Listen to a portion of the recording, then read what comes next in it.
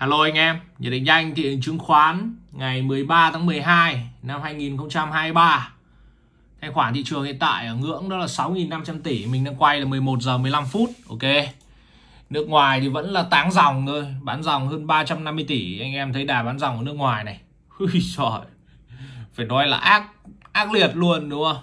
Nay thì cũng bán tương đối các mặt trận đấy, bán banh, bán thép, bán khu công nghiệp, đúng không? Bán các thể loại luôn, bán cũng tương đối đấy.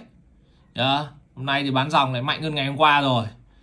Tự doanh hôm qua thì cũng bán dòng nhẹ một chút, khoảng 86 tỷ. Nếu mà trừ đi mua chứng chỉ quỹ là bán cũng tương đối đấy. Thanh khoản này thì lại ngang qua, như vậy là chúng ta tiếp tục có một phiên giao dịch thanh khoản rất là thấp. Liên tiếp những cái phiên gọi là giao dịch quanh cái biên nhỏ. Trên đường MA200 ở vùng 1120 đúng không? Thì nếu mà thị trường ấy nó có nhịp rũ về đây này rũ về dưới này xong nó giật lên thì anh em cũng rất là bình thường nhé canh những cái điểm như này mà, mà mua cổ phiếu cũng ok. Giai đoạn này là anh em cứ canh là cứ hoảng loạn tí là anh em mua là khả năng ăn cao. Nhưng nếu xanh tí là anh em mua là khả năng lại đói. Yeah. đấy đoạn này là cứ mua mà run run tí là khả năng là có ăn nhưng mà mua mà tự tin là khả năng không ăn đâu nếu mà đánh ngắn. Còn anh em nào mà theo dạng ôm hâu ấy thì nên ôm với một tỷ trọng nhất định ví dụ như là ôm 50% cổ phiếu. Xong anh em nằm im. Nhá. Không thì hôm hòa hôm lãi hôm lỗ nhẹ. Nhá. Nó cứ sai quay coi viên này anh em trong cả tháng này nó đánh như thế này rồi thì tài khoản của anh em hôm hòa hôm lãi hôm lỗ nhẹ nhá. Cứ bán đi một cái vẫn lại về bờ. Nhưng mà mua vào một cái tưởng ngon thì anh là không ngon đâu. À, thị trường thì vẫn loanh quanh đây. Cái điểm mình bảo đây nó có thể rũ về quanh đây là một một một hai chắc quá đã rũ loanh quanh lại hôm nay lại là một cái cây nến doji như thế này. Đi ngang tiếp nhá.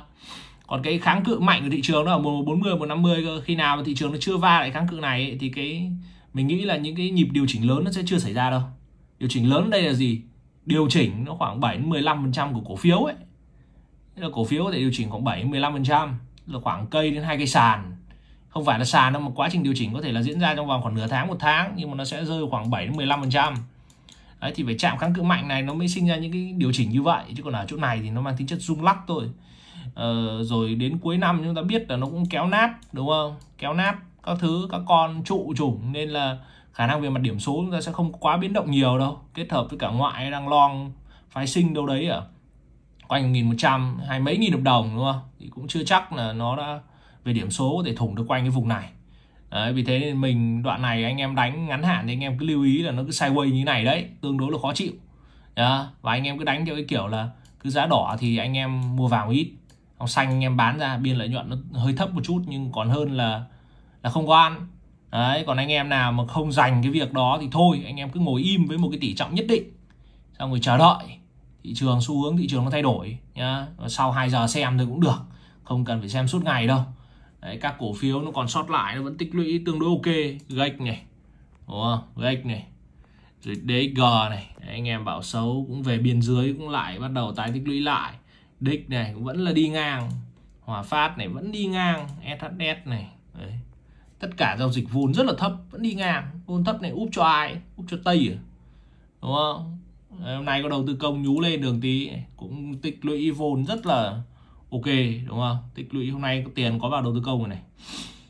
Ờ, tiền vào đầu tư công thì nó nó thường nó được tí buổi sáng thôi nhưng mà VCG chắc là khỏe nhất rồi tiến tới 26 Đấy, ok. Sáng nay thì mình có nhắn là đoạn này chiến thuật thì anh em vẫn hướng tới là 1150 thôi ưu tiên giao dịch ngắn gối đầu xoay tua mua hoảng loạn giảm điểm bán hưng phấn tăng điểm mạnh. Còn không thì nên ngồi im tại chỗ với một tỷ trọng nhất định tập trung một lít đỡ ngành tỷ suất sinh lời vừa phải 7 10 15% tỷ trọng duy trì 50% cổ phiếu 50% tiền mặt đúng không? Khi thấy một vài dấu hiệu cho thấy dòng tiền suy yếu leader cần tái tích lũy trở lại. Đấy. Thế thôi nhá. Ai mà tỷ trọng mà cao quá thì canh những lúc xanh điểm bán bớt đi thì cả nhà yên tâm cả nhà ngủ ngon cả chiều luôn. Đó, xong rồi lúc hoảng loạn thì lại lấy cái tiền bán bớt đấy mua lại tí. Chứ đừng có bán lúc đỏ bán lúc đỏ không hay đâu chiều lại đỏ tí lại vác ra bán cái thị trường này đỏ tí vác ra bán vẫn lại còn thua. Đó ok. Cảm ơn cả nhà rất là nhiều. Chúc cả nhà đầu tư luôn thành công.